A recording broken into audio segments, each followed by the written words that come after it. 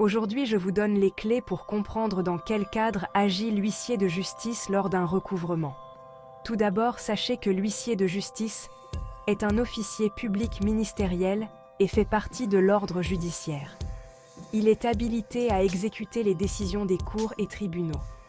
Ce statut lui confère donc une autorité supérieure à celui du simple citoyen et peut déjà inciter le débiteur à régler la créance. Recevoir d'un huissier un courrier réclamant le règlement d'une somme d'argent est souvent inquiétant. La première chose à faire est de voir dans quel cadre ce dernier intervient. Est-ce dans le cadre du recouvrement amiable ou est-ce dans celui d'un recouvrement judiciaire? Si cela vous arrive, tout d'abord vérifiez que vous êtes réellement débiteur de la somme demandée et ensuite prenez contact rapidement avec l'huissier. Si vous devez la somme réclamée et que vous pouvez la payer, informez-en l'huissier par courrier, avec copie au créancier, et réglez-la sans tarder.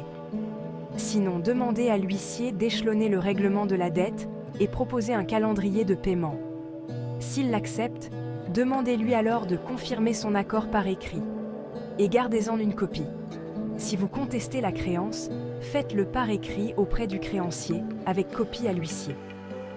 Quoi qu'il en soit, gardez la tête froide car certaines sociétés de recouvrement peuvent utiliser des formules menaçantes du type mise en demeure avant poursuite ou évoquer une saisie. Sachez que ces formules sont souvent abusives.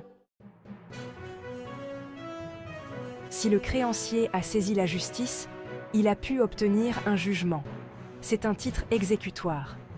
Dans ce cas, l'huissier intervient en tant qu'auxiliaire de justice pour signifier ce titre au débiteur et exiger le paiement des sommes dues. En cas de non-règlement, cela pourra conduire à une saisie. Merci de m'avoir écouté. N'oubliez pas de vous abonner et de poser vos questions en commentaire. Je serai ravie de vous répondre. Bonne journée et à bientôt.